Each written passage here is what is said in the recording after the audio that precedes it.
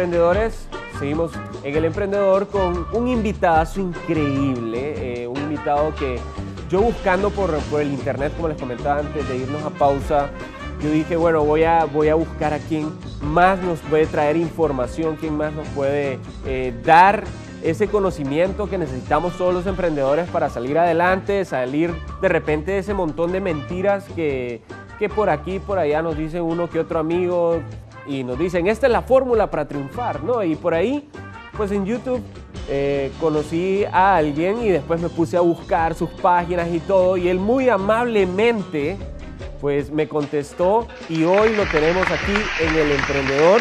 Y quiero contarles que él cuenta con más de 25 años de trayectoria activa en la formación y asesoría de empresarios de 35 giros industriales y comerciales ha colaborado como asesor en más de 100 empresas de todo tamaño y más de 300 mil personas han participado en sus cursos y conferencias en México y en Centroamérica. Estoy hablando del licenciado Enrique Gómez Gordillo. ¿Cómo está, licenciado? Muy bien, Leonardo, un poquito apenado con esa presentación que me hiciste. Estuve a punto de dejar aquí los audífonos y salir corriendo. Dije, ese, ese, ese tipo no soy yo. No, claro. Eh, por ahí vi sus conferencias, vi cómo la gente disfruta de cuando usted está hablando del tema de las ventas, que es un tema que muchas personas dicen un tema muy serio, o el tema de emprendedurismo, pero la gente disfruta sus conferencias y esa energía es la que queremos atraer acá a Honduras. Bienvenido a Honduras, aunque sea, como le digo a algunos invitados a través de Skype, ¿verdad? Esperamos tenerlo próximamente presente aquí, pero usted es capaz realmente, y eso sí lo puedo decir con toda seguridad yo, es capaz de proyectar, independientemente de donde esté, la energía que usted tiene, licenciado. Pues muchas gracias, Leonardo. Esperemos que así se cumpla en esta ocasión, que tenemos la oportunidad de platicar y, como bien dices, para mí es volver a, a, Honduras. Tuve la oportunidad de estar por allá hace ya casi 15 años y no te creas extraño, extraño volver porque he tenido la suerte de que los países que visito los visito más de una vez y Honduras no se me ha hecho bueno, pero en esta ocasión, gracias a, la tecnología y gracias a ti que me haces la invitación, pues aquí estamos para compartir con los emprendedores hondureños. Y me comentaba, doctor, que había estado en San Pedro Sula, eh, pero así, solo de pasón, solo de pasada. Te, te, decir, estuve en San Pedro Sula lo suficiente como para comerme tres pupusas en la, en, la cafetería del aeropuerto. wow. Porque bueno, pero estamos, en deuda. Estamos en deuda de traerlo acá a San Pedro.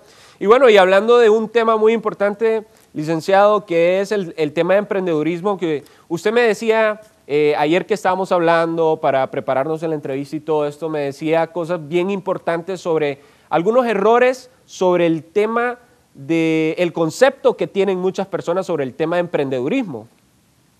Pues sí, yo te, yo te comentaba ayer y, antes de, dar mi respuesta, quiero aclarar que me cuesta mucho trabajo mantener mi, léxico en, español internacional, porque la verdad es que yo hablo muy coloquial a lo mexicano, que yo sé que en la mayor parte, de, afortunadamente, de toda nuestra hermosa Latinoamérica se entiende gracias a Chespirito y a, El Chavo y a El Chapulín Colorado. De repente, si hay algo que, que yo diga que, no sea muy claro, por favor, ayúdame para, para aclarar estos términos. Y, y fíjate que lo que yo decía es, a la gente le encanta presentarse como emprendedor porque hoy ser emprendedor está de moda y da inclusive cacheo, prestigio con, la, con las personas, ¿no? Yo soy emprendedor y yo a veces le digo, tú eres un pobre tarado que está tratando de poner un negocio y, y mientras más tiempo te pases como emprendedor, más tiempo estás perdiendo. Porque el emprendedor se llama emprendedor hasta que el negocio entra en punto de equilibrio y entonces puede vivir de ese negocio. Y entonces se llama empresario. Que es algo que te comentaba yo ayer, que, he visto, por ejemplo, en Argentina, un país al que he tenido oportunidad de ir ya cinco veces para compartir con emprendedores y empresarios pyme principalmente. Es, eso, que allá la gente se denomina emprendedora y te, y te, dice que tiene un emprendimiento, no un negocio, porque están en un proyecto que todavía está en vías de generar utilidades. Entonces, el, el emprendedor hay el emprendedor, como lo vemos actualmente, es una etapa que tiene una duración específica y que si dura más de un año, significa que la persona en realidad lo que está haciendo es fantaseando perdiendo el tiempo. Ahora, hay gente que es emprendedora por naturaleza. Y la gente emprendedora por naturaleza es la que no se sabe estar quieta, la que parece que tiene hormigas en el asiento. Sí. Y, tiene necesidad de estar haciendo continuamente cosas y esa, es gente emprendedora que yo sí quisiera diferenciarlos del, del, concepto de emprendedor que manejamos ahora, que es alguien que se atreve a iniciar un negocio, de gente emprendedora que inclusive siendo empleados son capaces de desarrollar miles de cosas continuamente porque simplemente está en su naturaleza el investigar y el crear cosas nuevas. Y ahí hay algo importante que mencionaba, o sea, muchos piensan que de repente el emprendedor tiene que ser alguien que renuncia a su trabajo, licenciado y que dice, eh, para iniciar tengo que renunciar. ¿Eso es cierto, licenciado? No, es. Eh, no solamente no es cierto, es la cosa más peligrosa que hay que hacer, porque dejar de tener, o sea, tener ingresos y, dejarlo por la aspiración de algún día volver a recuperarlos es un absurdo. De hecho, fíjate que eh, aquí en México hay una agencia de viajes que se hizo muy famosa y se hizo muy famosa porque los hermanos, los dueños son los hermanos, son gemelos. Pero cuando conoces la historia de esa agencia de viajes, que de verdad llegó un momento en que era la agencia de viajes que dominaba en, el país los, viajes, sobre todo a, Asia y a Europa, ellos se tardaron 15 años en hacer que la agencia fuera rentable. Y en esos 15 años, uno de los hermanos trabajaba sin sueldo a tiempo completo en la agencia, mientras el otro hermano tenía un empleo de tiempo completo para mantener a las dos familias. Y y de hecho, por eso hoy se habla tanto de que es importante que los universitarios busquen emprender, porque es la mejor etapa. Todavía están en el nido, la mayoría viven con sus papás. Entonces, como dicen por ahí, si meten la pata y lo echan a perder, de todas maneras siguen teniendo dónde dormir. Ahí tienen el colchón. ahí tienen el colchón y ahí tienen la manutención, aunque el papá lo vea como como un, como un castigo del Señor, pero es la mejor, es, la mejor forma de echar a andar un negocio. Ahora, si no, la verdad es que un, negocio, sobre todo a nivel emprendedor, se echa a andar mientras tienes una actividad con la que te mantienes. Y, la máxima, de hecho, no mía, ¿eh? es una máxima que tú ves en cualquier literatura de emprendedurismo, es deja tu empleo cuando tu negocio te, sea capaz de pagarte lo mismo. Okay. Entonces ahí se, ahí se, da. De hecho, no sé si, si tú conoces a un, eh, a un empresario chileno que se llama Marcelo Guital. No, no. Eh, que te voy a recomendar que también lo busques para, entrevistarlo y seguramente te va a dar la entrevista, aunque es un, es, un tipo muy solicitado, muy cuidado. Pero él, él en sus conferencias maneja una gráfica donde compara a alguien que decide convertirse en empleado y a alguien que decide emprender.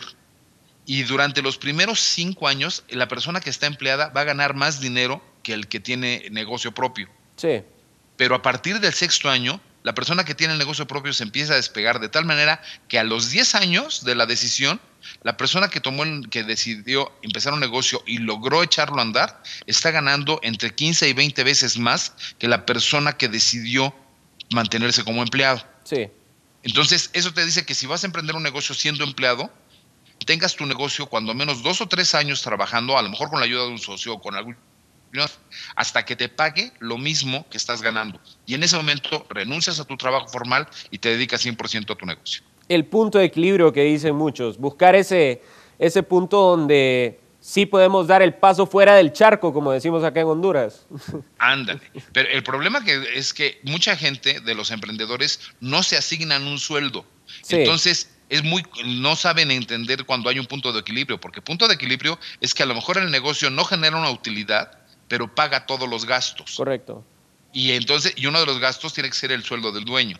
Sí. Y, y en, eh, muchos casos, sobre todo en las pymes, es muy común que el, suel, que el dueño no se asigne un sueldo, sino que más bien toma lo que queda que en realidad genera las utilidades. Entonces, al final puede, puede haber ahí un espejismo de que el negocio ya está en punto de equilibrio y cuando, y cuando brinca eh, fuera del charco el emprendedor, ¿Sí? en realidad acaba cayendo en arenas movedizas y se hunde con todo el negocio. Wow. Tiene que ser muy claro ese punto y si no, la metida de pata es soberbia. Y entonces ahí es donde viene la parte de, entender otros puntos que también hay que aclarar ah, en el tema de emprendedurismo, que es el tema de cómo se maneja el marketing, cómo se manejan las ventas, cómo se maneja la administración.